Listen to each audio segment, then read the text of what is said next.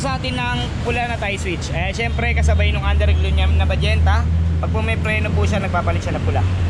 Eh, syempre po sa function ng minute ng tie switch natin sa ito ito pa rin yung stock high beam low beam. Ito po yung passing. Ayan yung passing ng mini driving. Syempre ito yung selector ng hazard, ganun pa rin po. Ah, left and right.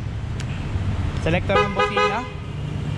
Syempre dito sa kabila, dito dito sa kabila ito po yung selector ng busina natin kapag ka naka-off stop. Pag naka-on siya, louder and with horn passing.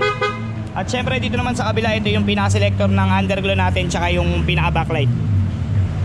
Yan.